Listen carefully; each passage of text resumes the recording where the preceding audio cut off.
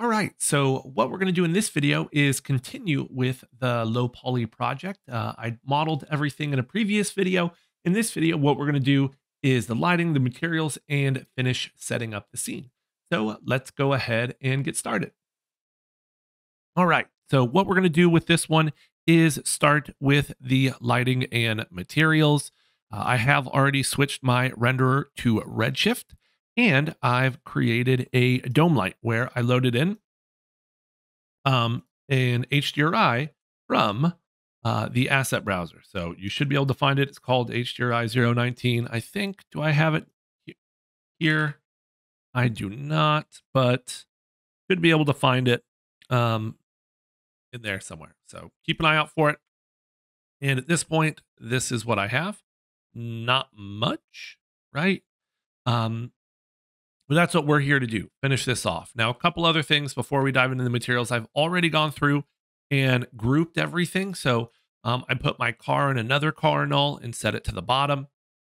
Same thing with the bus. And then for the trees, I put their axis at the bottom, but not quite the bottom. So that way, hopefully they don't stick out of the ground. And, you know, I go into the reason why we do this um, in the aligned to spline tag video that I just put out. So let's get started with the materials. Now, um, what I'm going to do is just uh, start by creating some Redshift materials and just several of them, right? I don't know if I'm going to need this many, but that way they're already here. And I'm going to just start with colors because once I start getting the colors in there, then I can go through and um, adjust, say, the roughness or other properties. And ultimately, uh, this will make my life a bit easier. And I want to do the, the lighting materials before I set up the scene, just so I get a better sense of kind of the overall layout, the contrast, and that all that type of stuff. So uh, I'm going to start with a blue. This will probably be my car color. So maybe something like that. I'm going to make the window color. So I'll do a lighter blue for that, almost like a sky blue. Um, I'm going to do a metal, and I'll just use aluminum maybe turn the roughness up on that a bit more, say 0.4. I'm going to need three colors, so I'll do a green. And I'm going to turn up the roughness on this. And a bark, that will be a brown.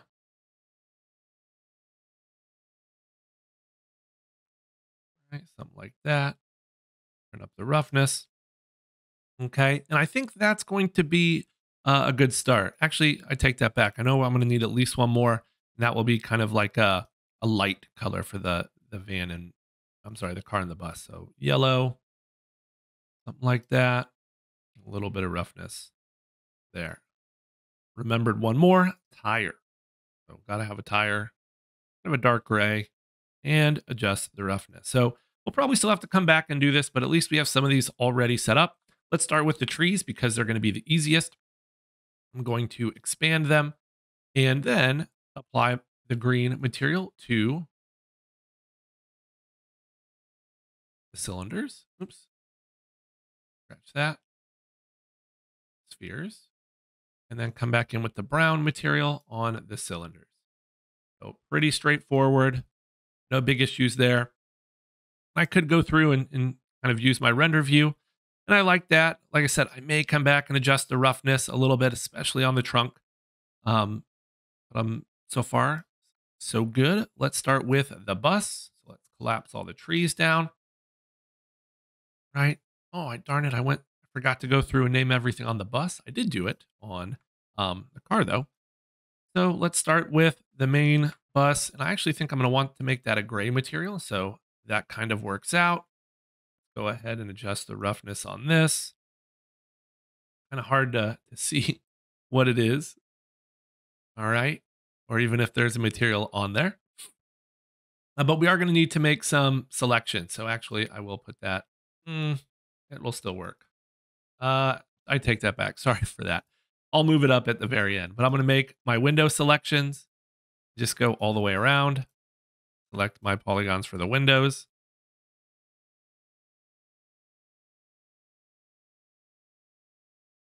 The front ones. Drag my window material onto it. There we go. That's looking good. Is there anything else for this one? I think I want to make this front polygon kind of my light color. I'll drag that on there. That's looking pretty good for now. And then, like I said, I'm going to move these all up. Um, that way, no, it was working before. Um, darn it. Well, that way it gets applied to the wheel well areas. Because if you look, and it's a little bit hard to see, there's no materials really applied inside of there. I could easily fix that by just um, applying this to down here as well. That should take care of that. Um, I think I'm going to apply the metal material. I'm going to hide the trees for just a second. Uh, to actually, I may want a darker material for that. So let's duplicate this, make it a bit darker. Go, and that will go on the mirrors.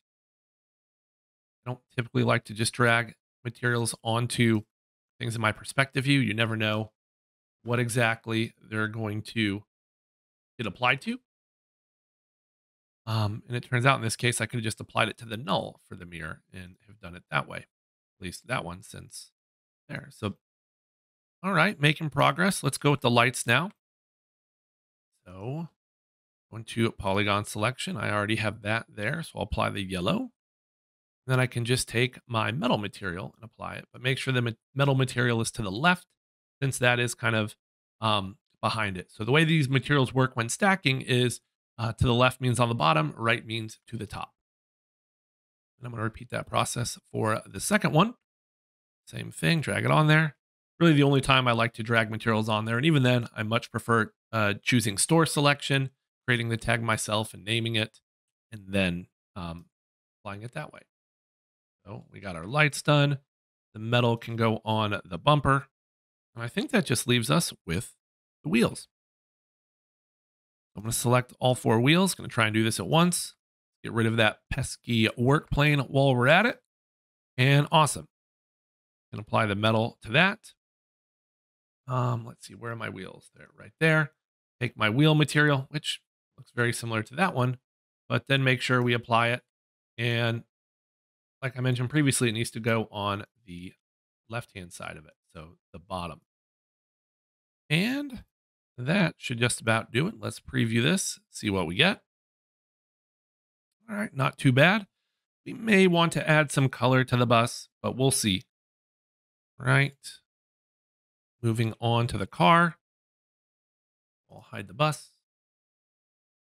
See, everything is much better named here. So let's apply the blue to the base car and to the wheel wells. All right, you can see it a little bit easier now. Why we would want to do that, though, in theory, you could make it a different color. Select my base car. I think I have all the windows selected just about. Apply my window material there. Right, apply my tire material first this time to everything. Another way you can do that to avoid having to move it once after you've applied it. Um, select the wheels that. Rid of these extra guys. Go into polygon selection, grow this selection by hitting UI, then applying the metal material. We'll work on all four. Can apply the metal material to the bumper, metal material to the test pipe, not test pipe, uh, uh, tailpipe and back bumper there. Then all that's left is our front lights here. So I'll select these. I might be able to do all of them at once since they started as the same object. Perfect. Do metal and um should have applied the other material first, but I'll just do it like I did before. Moving it over. That should work. Okay. I think that's it. Yep.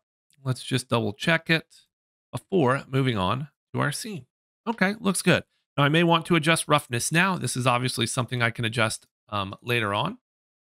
There is one other thing I want to point out that perhaps might be useful though, in just adding a little bit more detail. So I'm going to start with my tire material, which really all of these should be named. But um, one of uh, the more interesting nodes that I don't think I've talked about is the round corners node. So this is like a, a bevel you can apply per material that happens at render time. And you can connect this just to the bump map property. You don't need to use the bump map node. Now, if you were going to use this in conjunction with the bump map, you wouldn't need to use the bump map blender. But that will, I zoom in here, come in and give us this little bit of a rounded edge, a little bit of a bevel there, um, which for low poly can be just a nice little way to add more detail. So there's with, there's without. So we end up getting just a little bit more reflection, which can be nice. So I don't mind that on my wheels, maybe even increase the radius to one. You can see it get a little bit bigger. So that's looking pretty good. And I could do this. Really, I would want to do it probably more for my reflective materials. So the wheel, let's do it for the metal. Maybe that will be about it. But just something you could experiment with. And that um, I do think kind of works well since we do have not a whole lot of detail here, even for kind of the low poly look. So you can see what it's doing right there. And I think it's trying to do it for even between different objects here. And so in round in the thing you can say consider same object only. So that way it's not going to try and blend between the end of the light and the body. So I think that actually works out uh, a little bit better in this case. Okay, so that looking good. Anything I want to do here? Bus. Still not sold on that color. Shoot, maybe even adding just a little bit more variation might help down the road. Um, you know, because it is so plain and boring. Uh, but for right now, yeah, we'll leave it. So now to start um, making our scene. And the way we're going to start this is with a landscape. So I'm going to find a landscape. Clearly, this is way too small. All right. Or my other objects are way too big. Either or. Okay. And so maybe something like that will work. I'm going to want more detail with this, so I'll add some additional segments. I'm not too scared about segments, geometry, detail. All right, I'm getting some weirdness. How big is this? Uh, that's a that's a bit large. Maybe something like that. I think we'll be fine though. Okay. Um, what else? Maybe a little bit more variety in the the rough. Definitely the fine. I can always drop this into a subdivision surface, but you know, want to have some detail here. Okay. And the first thing we're going to do is make a road. Okay. And there's a couple of different techniques we're going to use uh, to do this. So the first thing I'm going to do is come in here to my top view and uh, make a pen tool path. So I'm going to use my, make sure I get into model mode here, pen tool, and just kind of choose a winding road. And I know we can't see it at the moment. We will here very shortly. Okay. I'm going to bring it above. There we go. See it a little bit better now. It's not smooth yet. I will select all my points, right click, and choose soft interpolation. So there's my road.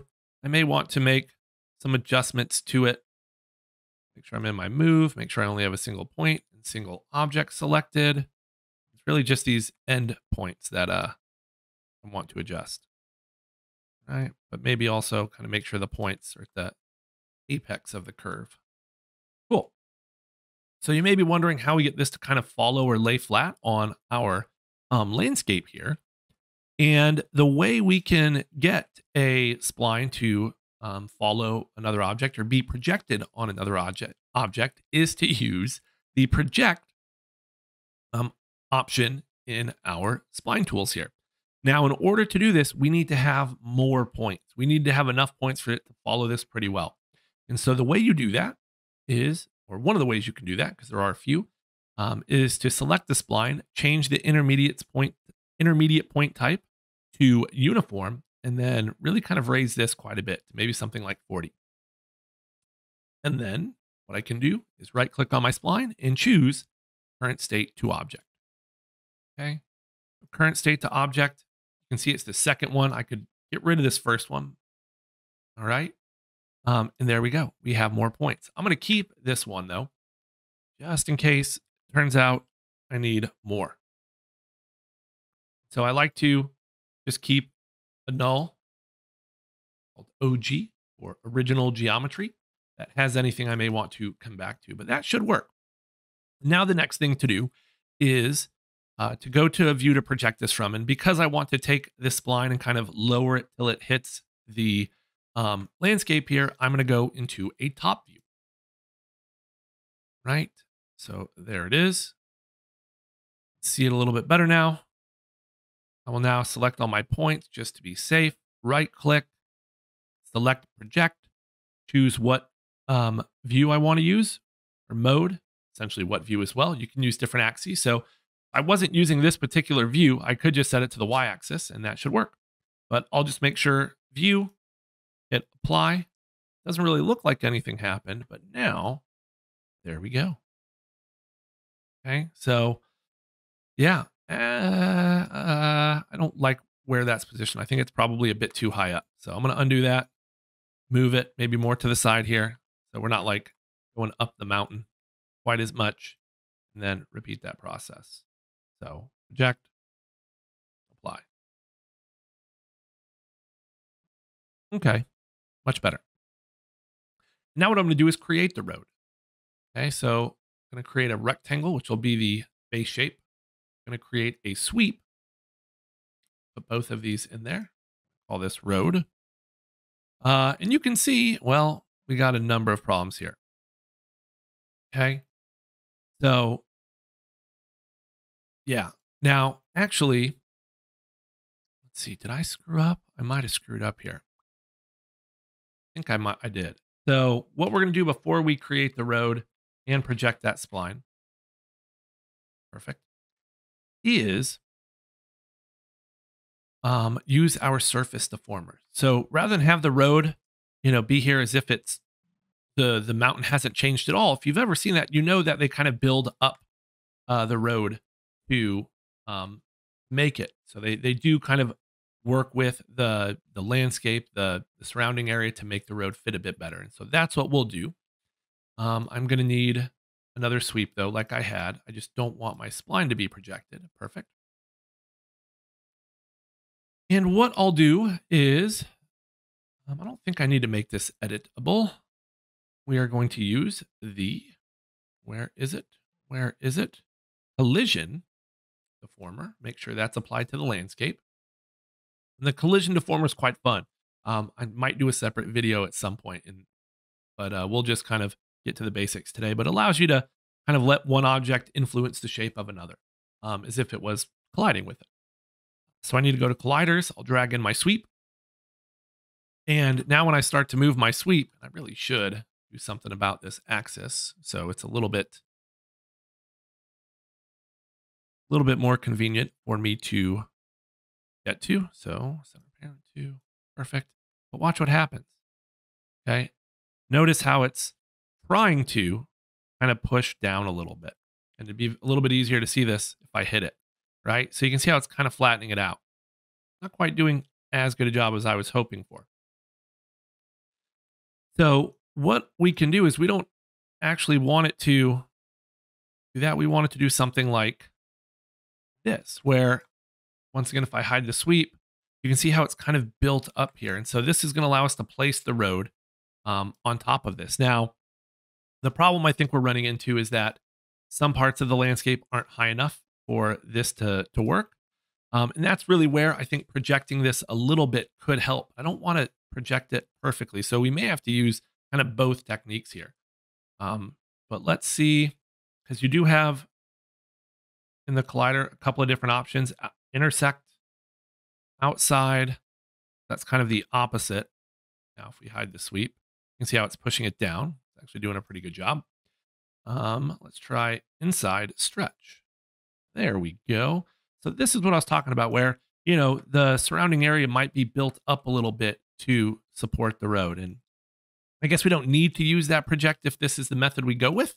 Um, but it may not be a bad idea because, you know, what road is perfectly flat like this? Um, I guess there might be some, but, you know, not quite what I was going for. So um, I think this will work for today. The only thing I wish is that my road kind of continued around this bend. So let's take my spline. I can't do that because it's been flattened. So why don't we just move this? Or rotate it a little bit. There we go.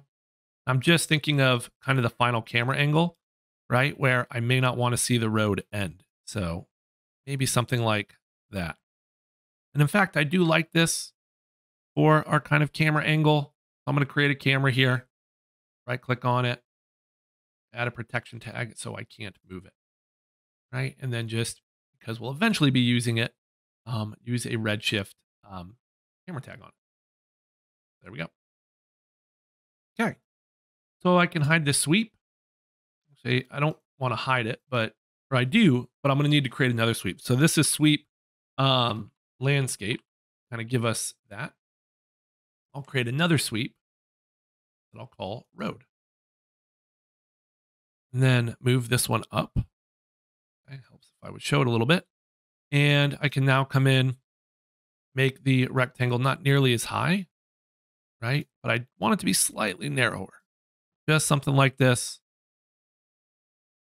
Pull this up and trying to pull it up high enough to so we don't see any of the landscape poking through. There we go. There's our road. Maybe a bit thicker than I would have liked, but nonetheless, I think it looks pretty good.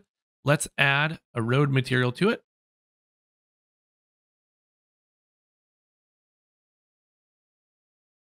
And make this quite dark. A lot of roughness. And apply that to the road. Now, we want to get super crazy. Well, first we have to figure out what to do about that. Um, can I move this one up at all, or should I move it down? Not really working right there. Um, well, we could always sculpt that. Maybe we'll we'll do, but we'll leave that for right now. So what I could also do uh, is get a middle line. In fact, lines in general uh, for this. Now this could be a bit tricky, uh, so we'll see how how this goes. Um, a lot of this stuff I you know, I've done before, but I haven't done it exactly in this particular um, project. I haven't gone through and, and kind of done this before. Um, so let's see, what's the best way to do this? Well, I guess it's going to be to create our lines. So let's say this is one line. That's going to be like a white line. So I'm going to want it to be pretty long. Maybe something like that. Kind of the outer line. Let's make another one. With a bit of luck, we'll be able to adjust, adjust this stuff after. And I'm going to want segments going this way so it can deform and follow. So let's see exactly which way that would be. Nope. Probably Z. Yep. Definitely going to need more than 20. I think we may need more than a thousand, but I type in more than a thousand. Nope. Well, we'll see how that looks. Okay. Now for the dotted line, um, I'm going to just duplicate that cube one more time, make it much smaller, and just use a cloner. So uh, I'm going to try and eyeball where the middle is here. Something like that.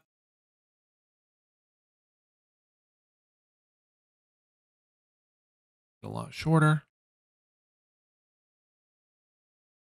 Like that. And let's just apply um, some materials to this. This one will be white. Go. This needs to go in a cloner, so I'll hold Alt so it puts it into a cloner. And I'm going to use the linear mode. I don't want Y, I want Z. So that looks good. Increase the count. Move this to the beginning. Pretty good. Looks pretty good. How many are we going to need? Nobody knows. Where's my count? There it is. Awesome. Group all this. Now, if I was smart, I would have also made the road this way, so I could have done it all at once. But I guess this gives me a little bit more um, flexibility to make adjustments. Like if I wanted to switch it to a double line. So let's call this road lines. Um, I'm going to need to group that is I'm going to use a spline wrap deformer. Spline wrap, put it in there. Should hopefully size it around everything, and it does. Let's, hmm. Oh, I see. It's going the wrong direction. We want it to go positive Z. There we go. And we're going to use the line from the road. Now, thinking it's somewhere that just needs to be raised up. So how can we do that? We could probably do it by offsetting this. Bounding box center Z. That's working. Just need to make sure I get the right axis. There we go. Great. That looks pretty good. Right. So this is what I was talking about where uh, we got pretty close, all things considered. Um, I don't need those segments on the, the yellow cube though. So let's make sure we reduce that. That'll make Cinema 4D's life a little bit easier. But where did that spline wrap go? Just a little bit more. Yeah, like that. I need to bring those lines in just a bit. So let's see. That one just a touch there. This one just a touch there. And oh, so close, but I can still use that bounding box option to hopefully fix this. Nope. Box center. Aha. Perfect. There we go. There's our road. Um, once again, looking through our camera. All right, starting to get something interesting. Like we have a little bit of a landslide there. Let's apply material to this. Now, we could spend, I could make a whole video about making, uh, you know, a material for this, but let's just do a little bit of a, like a grassy green. I know this video is getting kind of long already, and we still have much to do. So we'll do that. Okay. Ooh, yeah, nope. Don't think we're going to do the reflection. So roughness, turn down the reflection. Okay, great. You know, and ideally I may want these to be snow covered. I may want this to be um, dirt. And yeah, those are all nice touches that we can do. So let's start um, getting our trees in there. I think that will be a nice, nice touch. Uh, so I'm going to take my trees. I'm going to put them in a cloner. Okay, that's looking pretty good. Clone onto an object. That object will be my landscape. Okay, you can see there laying down. Can't have trees laying down on the job, so I'm going to uncheck align clone. And this is why it was important to have that axis not quite at the bottom so that they poke through just a bit and we don't see them floating. So now what I can do is just go crazy with the count here.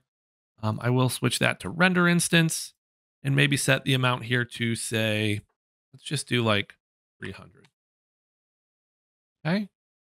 Um, what I also should have done with these is hidden um, the FFD deformers so we don't see them. that will also make Cinema 4D's life a little bit easier um, because that way it doesn't have to draw all those FFDs. What else are we seeing? One more FFD. Not sure what tree it is. One. So let's just turn that off, figure it out. So it's tree three. Okay, FFD, FFD. There it is. You're gone. Much better. All right. Cool. You may notice we have some trees in our road. That is a bit problematic. Um, and dude, I can't. I'm, oh, I'm trying to figure out how exactly I did that. Um, we could always just use our MoGraph. Uh, where's our MoGraph menu here? Selection. And just paint out whatever trees we want. So if you select these, trying to get just the ones here that are on the road, hold shift. All right, I think I got them all. Not You. Okay, so we have our selection. we could have used fields for, and I think that's actually how I did it before. But um, I can now create an effector. And in fact, there used to be one called hide selected. That's uh, just creates a plane effector where um, adjusts the visibility and it just hides those clones we have selected. So now when we look, got something like this, starting to look pretty good. I'm also going to select my cloner here, and I'm going to add a random effector. Uh, that way, oops, that's not my effectors. We can just give these a little bit more variation. So not with position, um, but with rotation, right? Just rotate these a little bit. So 360, really 180 would work too.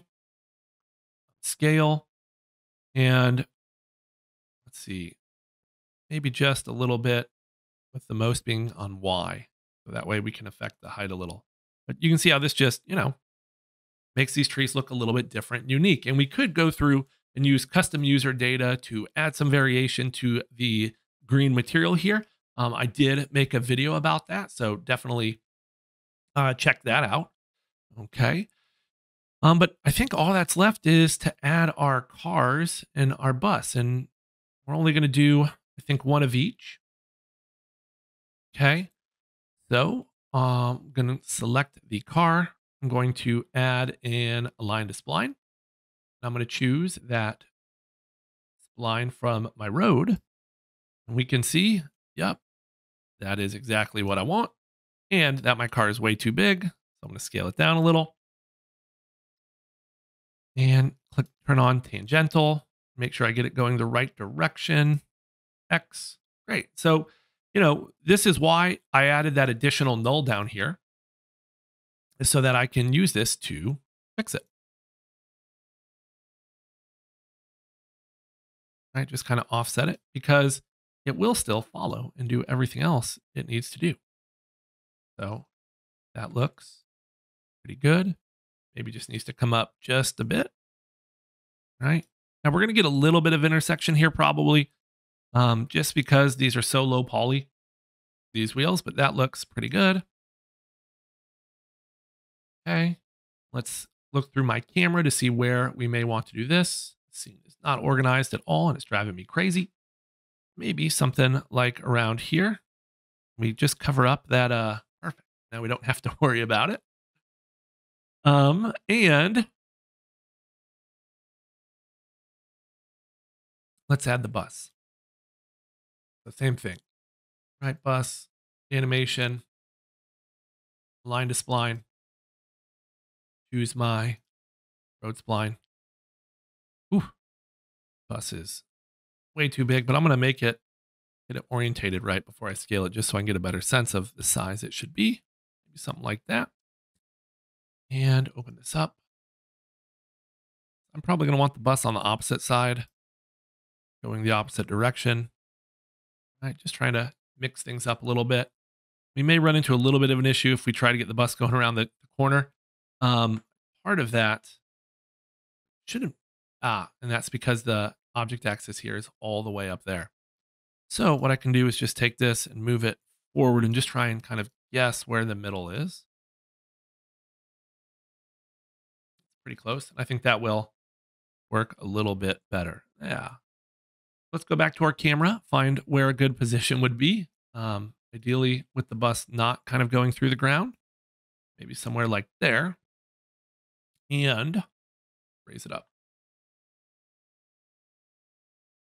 Okay, let's get out of the camera, see if there's anything I don't like. Maybe raise it up just a little bit more to get those wheels. Perfect. And awesome. So cool. That's looking pretty good. Let's see what we got render wise. All right. Um, we don't want that original landscape to render. There we go. It's looking a bit dark. Let's see what we can do with our dome light here.